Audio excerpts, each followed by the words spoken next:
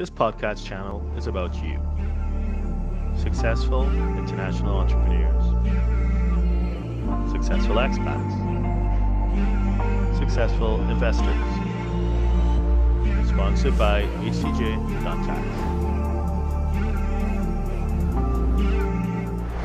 right, great.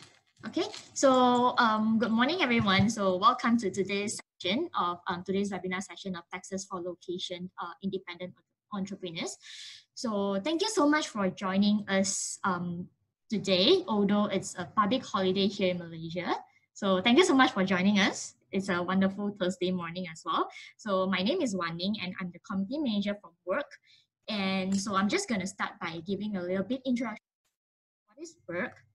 All right, so we are actually a hyper-localized um, business community where all of freelancers, entrepreneurs, and SMEs converge and collaborate under um, one roof. So we pride ourselves as a place where productivity is at its utmost by making it easy for all our members to enjoy a stress-free real estate and opportunities to leverage on the community to supercharge each and um, every co-worker in its space and across its networks. So we actually want to change the way people work together for the better. And our aim is to create the largest and most productive co-working community by taking care of all of you know, everyone's um, workplace needs and facilitating a deeper connection. So every inch of space that we design, you know, every community events that we curated has this in mind. So that's um, a brief introduction of um, what is WORQ and feel free to let me know if you guys would like to know more about WORQ after the session. All right, I'm just, uh, you can just um, let me know in the chat box here. All right, so that's all about WORQ and I would like to hand over today's session back to Derren. So Derren, over to you. All right. Yay. So thank you very much, WORQ. I appreciate the privilege and honor of having an opportunity to speak to some of your members and I value quality over quantity so I'm I'm actually happier that it's a small group so these are people who are really keen really interested really motivated and have a business that they care about and they want some answers. So what I, what I intend to do please bear with me I'll walk through a, a short slide uh, deck and I'm not going to be more than 20 minutes or so, which gives us ample opportunity for Q&A. I think the real value comes from the Q&A session. So with that, I'm just going to talk through six things you should know about taxes as a location independent entrepreneur like yourself. So let's hit the, okay. So I, my name is Derren Joseph. I run a, a small semi-autonomous team within Moores Rowland Asia Pacific or a wider practice in Asia. So we have 30 offices across, I think, 12 countries now. So from as far north as Beijing and Tokyo all the way down to Sydney. Oops, wrong button. I actually sit in Singapore. I've been based in Singapore for about seven years now. And we have an office, of course, in Malaysia. The we have the, there's a an office in KL, of course, in Malacca, in JB, in Kuching, and I I think that's it. So that's that's the website if you want to reach out to to our local partners, or you can just contact us and we'll get through to them for you because I am licensed by the U.S. Department of Treasury, I'm legally required to say that nothing we say here today should be construed as advice. We're having a general conversation about general tax principles. If you're looking for what we would call actionable intelligence, you need to engage someone who knows your situation inside out. I may be a tax consultant, but I'm not your tax consultant. So that's what we necessarily need to say to stay out of jail. Now, what I hope would be the result or the takeaway from this is that you walk away not with answers. You're not going to become like the expert in international tax for people who work remotely or online sellers or, or whatever. But what I'm hoping that you walk away with is an appreciation of some of the key concerns that you need to have as you look for someone who can fit your situation and help you move forward. So again, I'm hoping to, to equip you with just some mental concepts that you need to keep in mind as you look for uh, a solution. So I want to talk about six things, you know, just keep it short and sweet. So six things that I, I believe are worth considering. The first of which is, is, something called flag theory. I know there's some companies that are self-styled and they use that name, but it's a concept. It's it's not an, a company per se. It's an idea that was first popularized by this guy in the 1950s. And essentially, what it speaks about is diversifying your lifestyle. I don't know how many of you are what we call digital nomads or location independent. So you do move around then this may be something for you to consider if you're just like 100% based in Malaysia. It's something to consider, but perhaps less important for you, for you guys. And again, we can take a deeper dive into this in the Q&A session if it is of interest to you. The second thing I want to bring to your attention is the idea of fake news. It's real. Fake news is real. I know that's a, sort of an oxymoron, but you know what I'm trying to say. The most dangerous thing you can do is look on some Facebook group and take legal advice from a Facebook group or a YouTuber.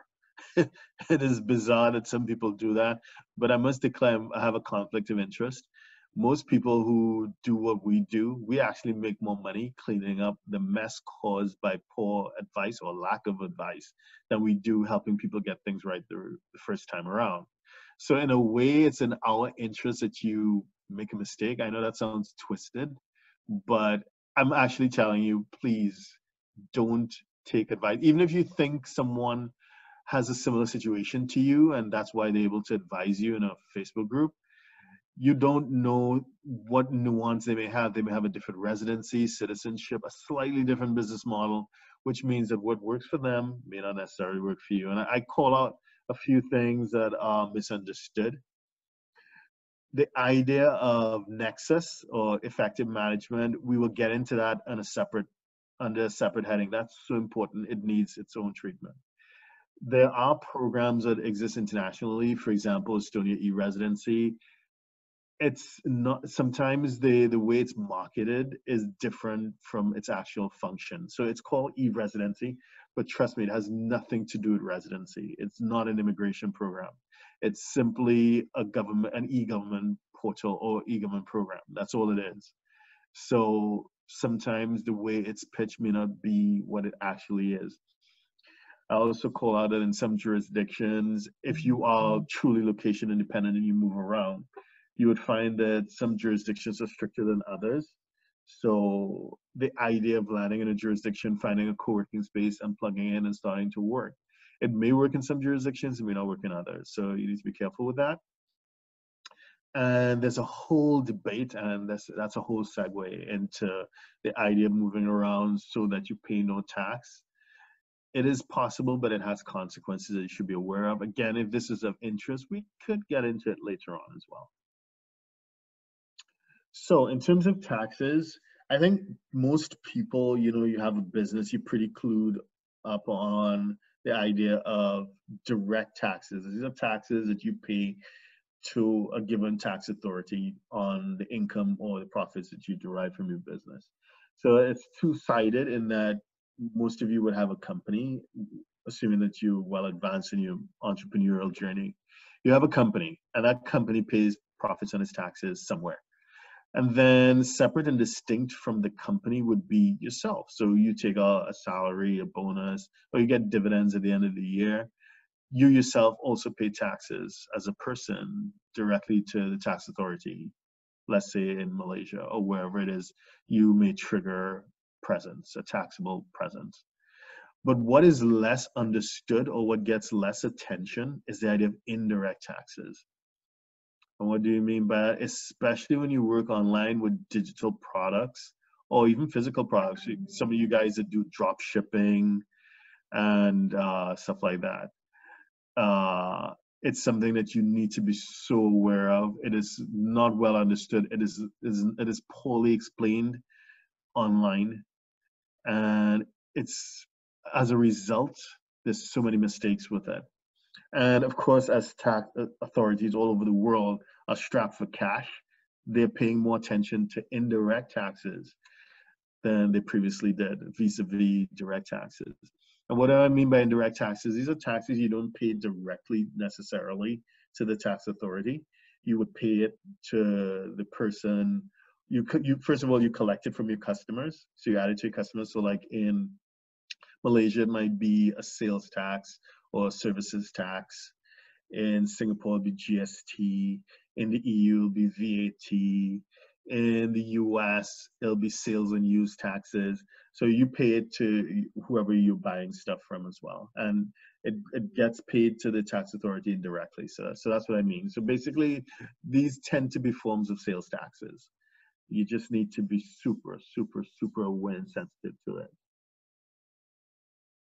I also said earlier that I want to take a slightly deeper dive into the idea of nexus, starting with the place of effective management. What do I mean by that? Again, when you follow, unfortunately, fake news, they, they give you this impression that you form a company, let's in Dubai, Caymans, BVI, Cook Islands, Vanuatu, Marshall Islands, Seychelles, you know, you pick your jurisdiction. And then suddenly you have a you have a tax-free company. Mm, not exactly. The reason why is that the taxability of your company or the tax exposure of your company is also driven by where decisions are being made, where in this case is your place of effective management. So if it is you have a company, let's say in the BVI, or you may have an offshore Hong Kong company, which used to be kind of like really popular. So BVI Hong Kong is offshore. So therefore, it's zero tax in Hong Kong, zero tax in the BVI.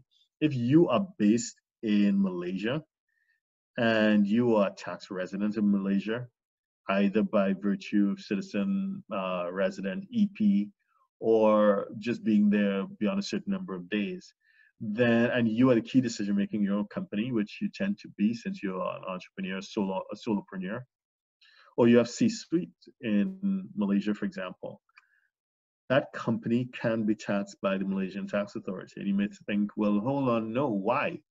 Companies incorporated in Hong Kong or BVI. And that's not how it works. By virtue of you being in Malaysia and running that company from Malaysia, the tax authority can take the view that it is a Malaysian company. And it, it works out same in the EU, same in Singapore next door. You run an offshore company from in Singapore, they will tax it as if it's a Singaporean company. So again, it's just something to be aware of where decisions being made, where you C-suite, where your other directors, especially executive directors, where do they sit, which jurisdictions they sit. It can create a taxable presence. And stepping back from the place of effective management is the broader concept of nexus.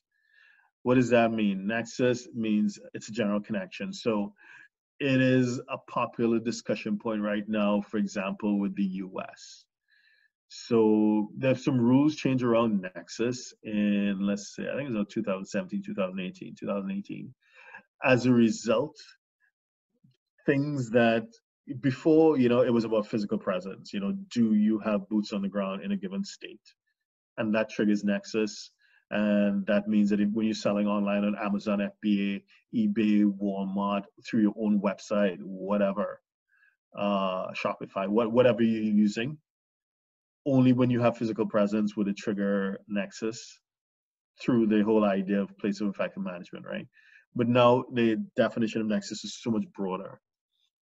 Right now, it means that you can have a warehouse. You can be selling to buyers in, let's say, uh, New York, but the goods that you got on Alibaba or you know AliExpress, you it uh, you you putting them onto Amazon, and Amazon has a warehouse in North Carolina, and so it goes via North Carolina before it gets to your buyers in New York. Well, hold on. By virtue of having that warehouse, even though it's a third-party warehouse and it's not directly run by you, that creates a taxable presence in North Carolina and you may have to pay sales and use taxes there. In fact, you may have to pay income taxes there, depending on how it goes. And even in New York. So, and then of course, when it goes to New York, well, yeah, once you get, once you have more than a certain threshold in terms of sales, you'll be subject to sales and use tax there too. and it, it's even more sensitive. There's click-through nexus for those who have uh, affiliate uh, links, affiliate marketing uh, partners in different states that could create nexus as well. So the idea of nexus, eh, and especially as it connects with indirect taxes and to some extent direct taxes, something to consider. Uh, in the EU as well, once this is above a certain threshold, you need to register for VAT. So, uh, yeah, Nexus. It's it's not just about physical presence anymore. Once you have a level of economic activity, you need to be thinking about taxes in those jurisdictions. And that leads me to digital taxation in general. It is a it is the most uh, dynamic area right now of international tax. Why? Because all governments are, you know, of course, they're strapped for cash. They're looking to pick up every penny. And they recognize that things are going online to state the perfectly obvious things are going online so they need to raise their game when it comes to taxing stuff online whether it's a digital good something that's downloadable some sort of app or, or whatever game or, or whatever the case may be whether it's a physical good that you're buying from one jurisdiction and then uh, through arbitrage selling into another, or if you're just providing a service, you're just your consultant, your graphic designer, whatever it is, you're doing that activity online. Governments are trying to figure out a way to tax it. And I know I've seen online that there are, you know, the, these grids and the, these tables trying to tell you how taxes work. These are so deceptive because it's so complex.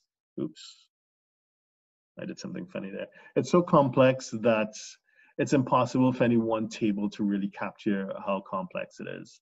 So for example, in the US, yes, you have 50 states, but you have over 10,000 sales and use tax jurisdictions because each state is further divided into sales and use tax jurisdiction. And of course, in the EU, you have multiple jurisdictions. Or in France, you have a digital tax plus you have the VAT. And uh, the thresholds are obviously different. So, my advice really is, and this gets me to the last part you need a team. You are an entrepreneur, you are a business owner, you are a leader in whatever you're trying to do. And your time is best spent running your business, not trying to figure out the intricacies of tax. And the last thing you want to do is ignore it because it comes back to bite you. And when it comes back to bite you later on because you didn't pay attention, the bite is going to be much worse than if you dealt with it up front. So maybe it's too early in your journey to have like a board of directors, but definitely some sort of advisory committee or uh, a network of people that you know that you can call upon should you have certain questions. So with that, yep, about 20 minutes, I will hit the pause button and open the floor to Q&A. Any questions?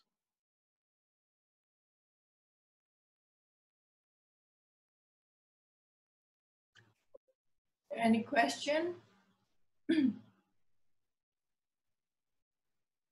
Not all at once. Yeah, if, if you have any question, please um, unmute yourself and then just speak up, or you can write it down down in the chat room. Okie dokie. Meanwhile, if you are shy here, I'm gonna I'm gonna give you in the chat room. Please do not hesitate to contact us at help at htj.tax or contact us at LinkedIn, which I put down below the the um, the link for mine and then for Derren LinkedIn. And then kindly follow us in your favorite podcast platform. The link is down below.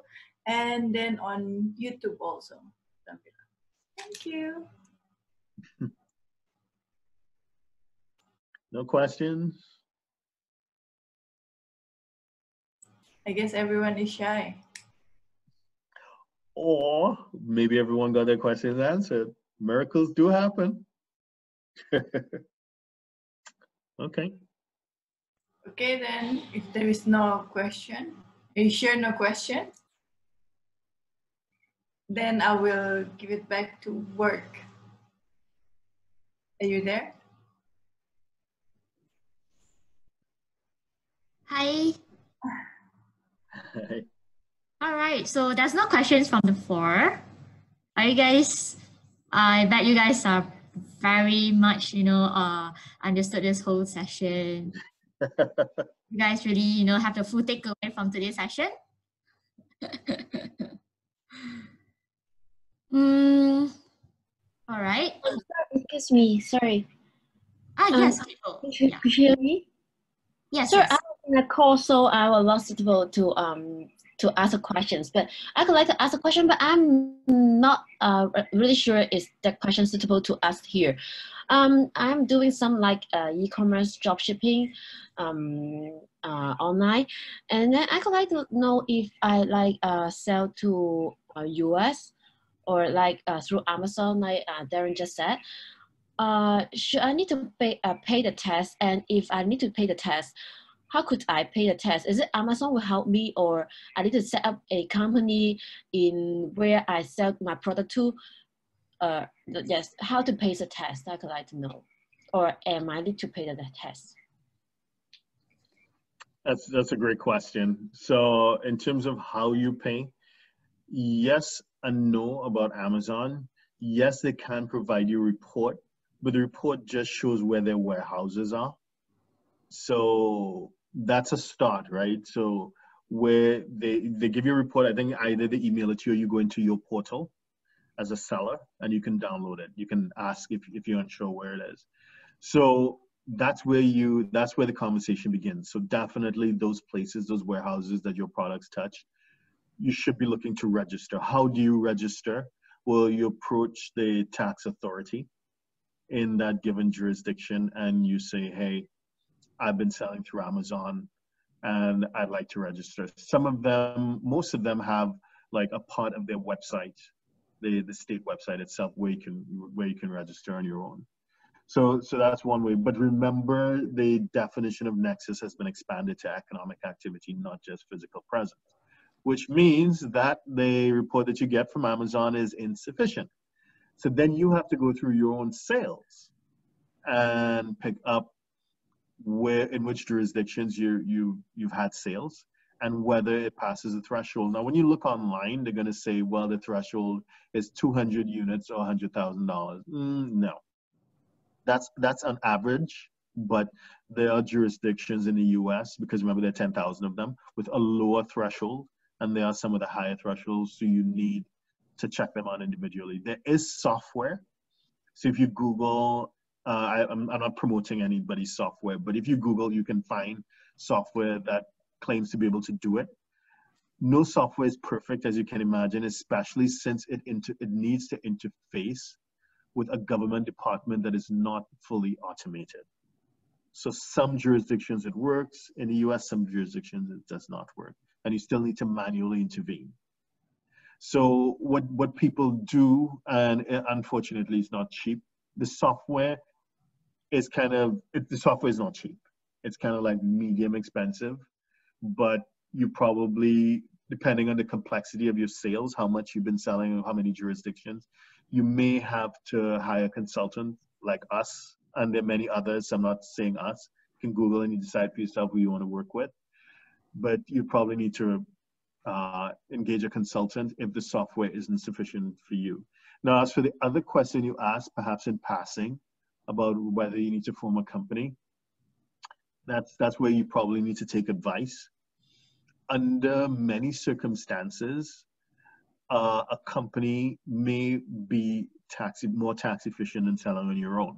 But putting tax to one side, there's also the idea of product liability, right? So if, for example, you know, you're selling, I don't know, vitamins or something, chewing gum, something like that, and something happens or a toy, and a kid is playing with the toy and the kid gets hurt, Mm-mm. then you get sued. And if you if you don't have a company, if you didn't sell that product to a company, they come after you personally. Whereas when you have a company, the veil of incorporation protects you from the unlimited liability of somebody suing you.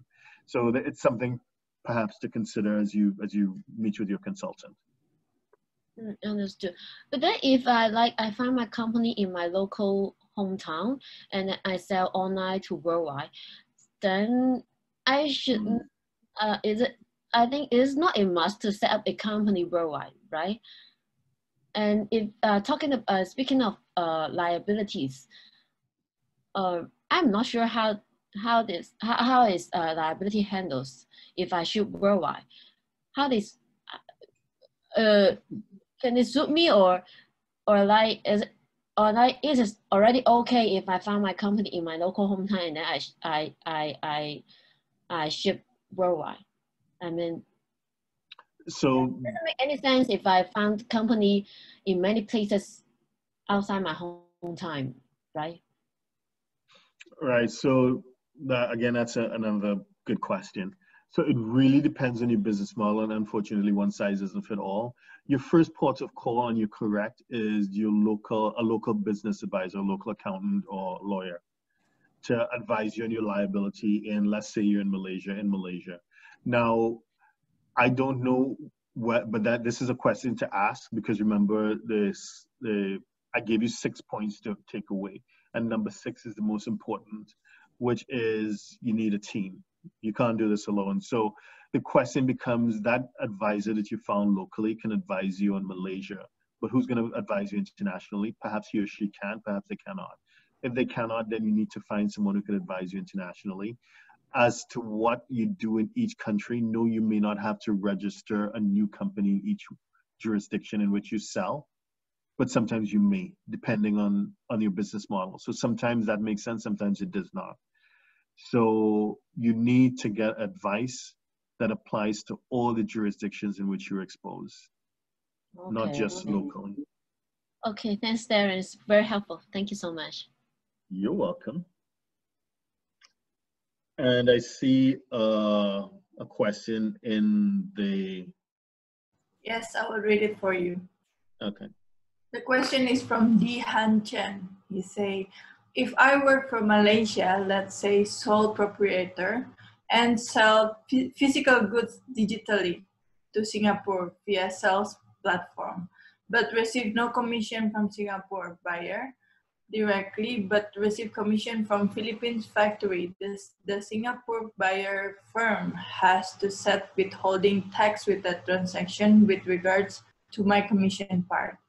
Um, would the situation be different if I physically present visit the Singapore buyer firm to sell the above said physical goods instead of selling them digitally?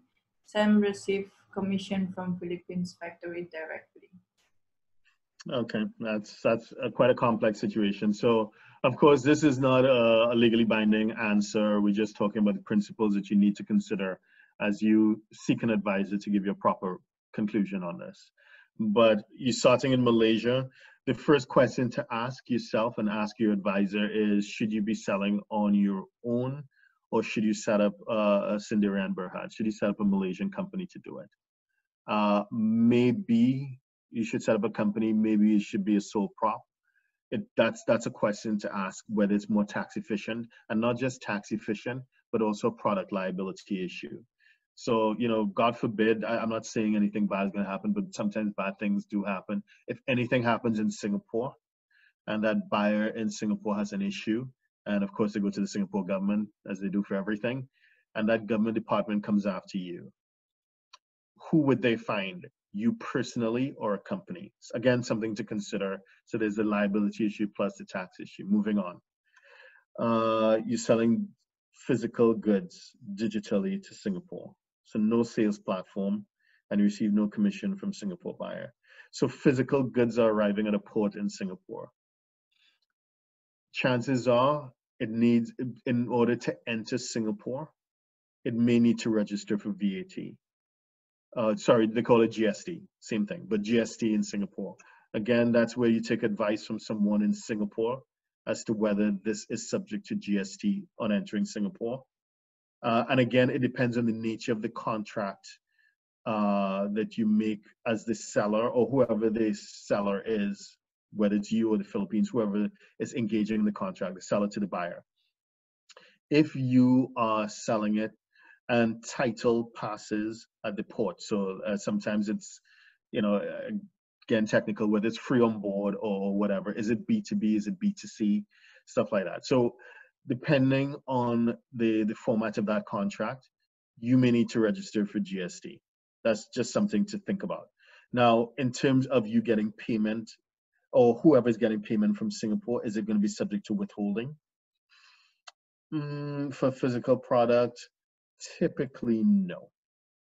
Typically no. I'm not saying no, but I'm saying typically no. So again, it, depends on a lot of factors, but typically there shouldn't be a withholding tax. Typically, there may be GST, but there shouldn't be a withholding tax. Typically, and there may be customs duties, but there shouldn't be a withholding tax on that money coming out from from Singapore, unless okay, I won't get into that. That makes it more complex. So it shouldn't be a withholding tax. Now, you're saying that it's you receive no payment from Singapore, but you get a commission from the Philippines. Uh, okay. When that commission comes from the Philippines factory, I don't know how they're going to do it, but Philippines, uh, from as a, a, tax authority in the Philippines, the, the the BIR, I think it is, they're way more strict than IRAS, the Inland Revenue Authority of Singapore. BIR is more strict because their tax rules are more strict. So you didn't ask, but I'm telling you that you should have a conversation with the guys in the Philippines because they may be withholding on the money coming out to the Philippines. They're really, really strict on, on withholding of like everything coming out of the Philippines. So it's something to consider.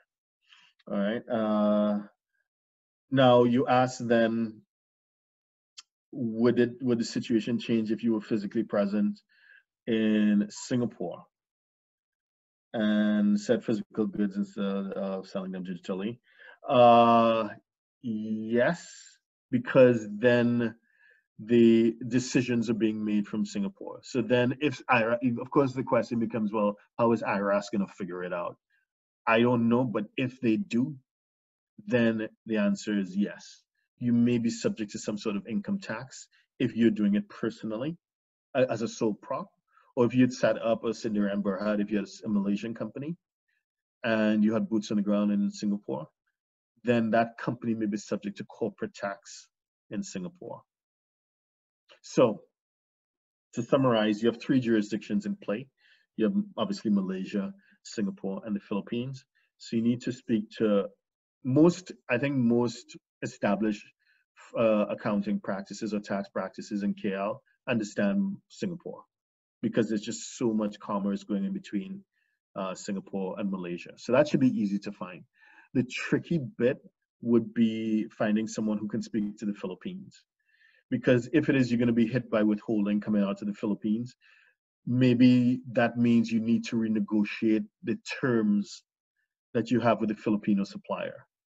So you need to sit with an advisor understands all three jurisdictions and plan it out properly, not just from a tax perspective, but also from a product liability perspective, knowing that Singapore is really strict. As you know, I'm not telling you something you don't already know.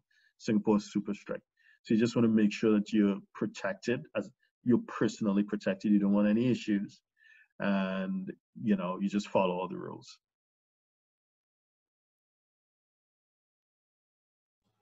Any other question?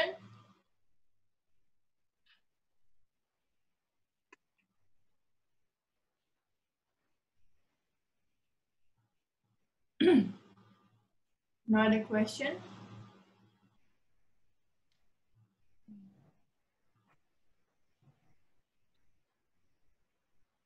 Then go back to work.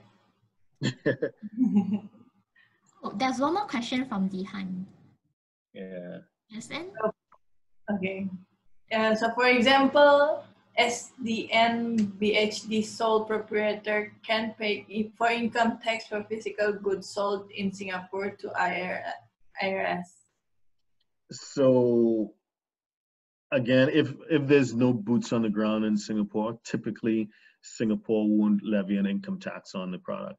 What they will do, what they may do is look, of course, uh, duties uh, you know, any import duties, but more importantly, GST, which is the Singapore equivalent of the sales tax or the services tax that you have in Malaysia.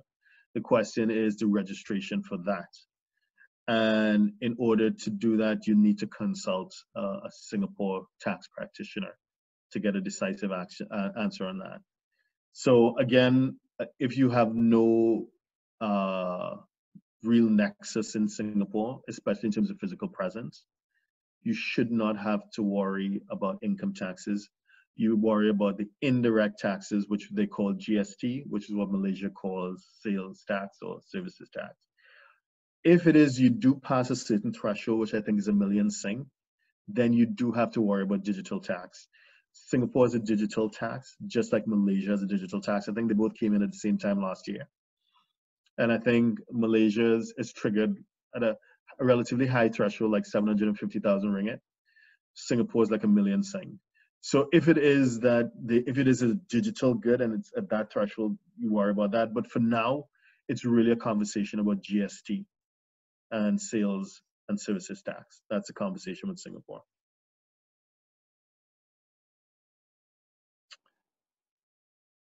Okay. All right. So I hope um, Derren has answered your question, um, Dihan. Any more questions before we wrap up for today's session? Mm. All good. All right, cool. All good. Thank you so much for today's session, Derren. It was a fruitful session, I believe. So those of you um, who, um, I mean, uh, who didn't ask any questions, I hope that you guys got the maximum takeaway from today's session. All right, or if you have any further questions, um, further, I mean, after today's session, feel free to reach out to um, Derren and the team on the LinkedIn. They have actually sent out um, their, you know, uh, how to reach out to them. All right, you can tag them at um, help Elias HTJ or you reach out to them on LinkedIn as well. All right.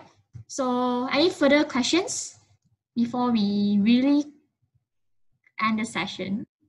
Yeah, there's a question about he's asking about physical goods coming from outside of ASEAN. Uh, no, it, it, the same principles would apply, except rather than the the consultant that you're using having to understand three jurisdictions, uh, Philippines, Malaysia, and Singapore. The, the fourth one will be wherever it comes from.